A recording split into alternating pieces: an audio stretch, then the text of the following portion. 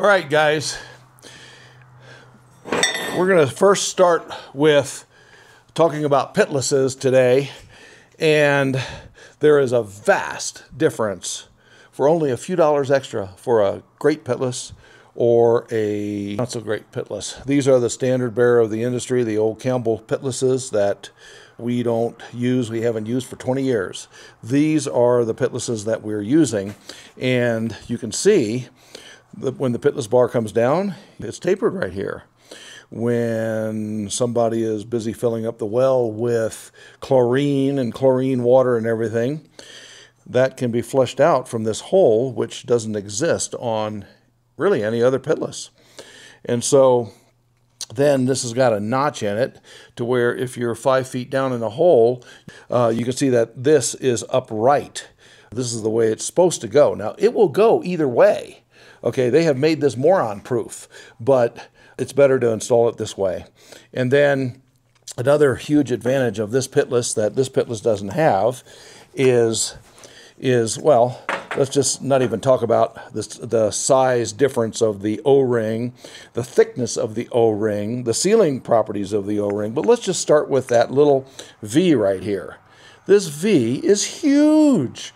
That just lets you orient that, you know, if your if your pitless bar is off to one side, it just slips right in. And that's just huge. And so we've loved these pitlesses forever. The other thing is, is there's less friction loss because this is tapered right in here okay? And, and then you can see if you put this on the correct way, it's fine, 100%, okay? If you are a moron and you put it on the wrong way, well, whatever, it, it still works. So anyway, there are two ways of installing pitlesses. The Justice way, that's the name of our company, and then the uh, Holiday way. All right, I'll get to this. All right, so uh, a pitless, this end of it goes to the well pump. And so the well pump pumps the water up and then it comes out through the casing.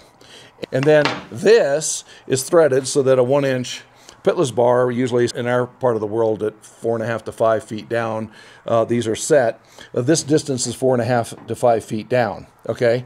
In our part of the world, you take the pitless bar and you lower it so let's just imagine that this just turned into a pitless bar.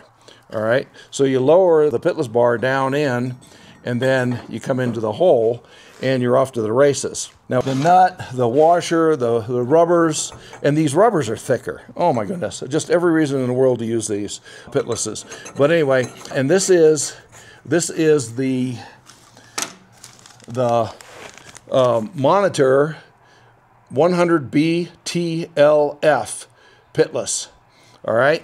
So anyway, here we go. And so this this screws on here, and then and then there's two ways to actually orient the pitless. So let's say that the trench goes this way. Okay. Most everybody takes and plugs in your fitting, your poly fitting, or whatever you're going to use, and just goes straight. That is the holiday way. All right. The justice way is, is to turn it uh, this direction. So we turn it this way, not this way. Why is that? We turn it this way so that when the ground, and this gets tight, and so when the ground is settling down, there's roughly about, I've, I've heard 1,200 pounds of pressure on the ground settling down onto the pipe. This will just tighten. And this is the justice way. The, the uh, holiday way and you wonder why it's a holiday? Because if, if you or your competition is installing pitlesses uh, and the piping coming out of them like this, guaranteed, July 4th, Memorial Day, Labor Day, Christmas, this will be breaking off and, and the, the amount of weight that comes out on this just breaks off. Really? One more fitting? It's not hard. Uh, you really want to not do this the holiday way because these only break on holidays.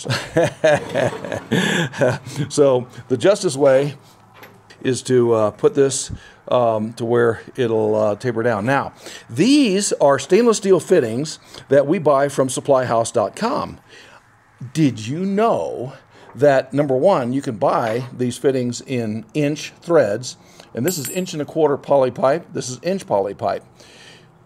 Do you realize how valuable it is to have the square knob on the back of these to where you can take a crescent wrench or just a end wrench and be able to turn these around when you're tied up against the trench in the ground and everything. It's just huge. These are just great fittings. We've used these for many years, and the pricing is awesome from supplyhouse.com. Uh, if you buy more, you save more, and they just do that on their own. If we're going to be going with some other fitting, like a PEX fitting or what, well, then we always do this the Justice way. We can screw a straight PEX fitting into here. We don't use PEX underground. We use only poly pipe. That's its own video at some point. So anyway, uh, there we go.